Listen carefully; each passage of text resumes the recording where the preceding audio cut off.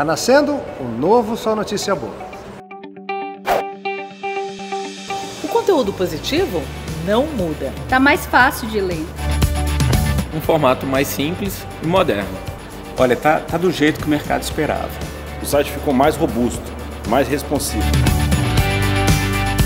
Quem disse que notícia tem que ser ruim? O que acontece de bom também é informação. A gente faz um jornalismo diferenciado para mostrar que tem muita gente boa e muita coisa boa acontecendo no mundo. Aqui não é notícia quem mata, mas quem salva. Não é notícia quem rouba, mas quem é honesto. A gente não dá espaço para quem agride, só para quem faz boas ações. Tragédia também não, só casos com final feliz. E em vez de preconceito, nós damos histórias de superação. Nós desenvolvemos um projeto diferenciado para um jornalismo que por si só já é diferente. Só Notícia Boa existe há quatro anos, tem seu público cativo e crescente. Só que precisava de uma repaginada na sua marca e um conceito, e foi isso que a gente criou. Nós criamos uma nova diagramação. Ela deu maior destaque para as notícias boas mais quentes. Nós sugerimos a alteração da plataforma pensando no que existe mais atual em programação, acessibilidade, indexação de conteúdo e leituras em dispositivos móveis. A notícia boa tem uma energia muito legal. Além de inspirar e melhorar o dia da gente, ela agrega as pessoas que estão na mesma vibe do bem. O Rodrigo, que é dono da agência Sete Pontos, que encabeçou essa revolução na cara do site, eu conheci fazendo uma matéria de superação. A matéria ela fala um pouco do projeto Papai Bonito aos 40. É um projeto que eu conto um pouco minha vida como pai, minha alimentação, dieta, treino. E foi um projeto que eu criei para a festa de 15 anos da minha filha.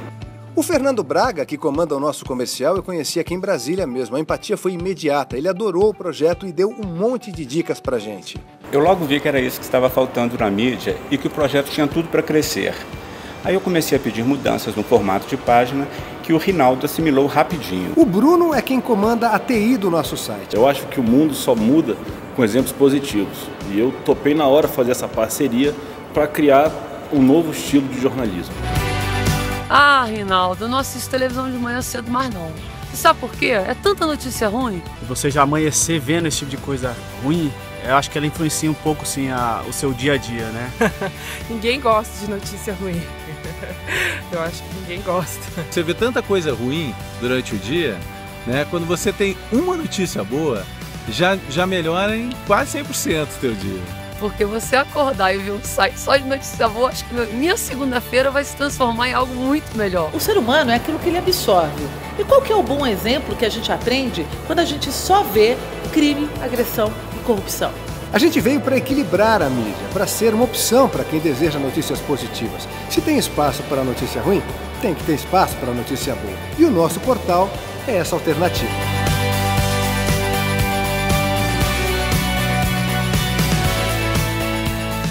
O Só Notícia Boa tem público, tem carisma e tem mercado. Uma coisa legal, desses quatro anos o site virou uma referência.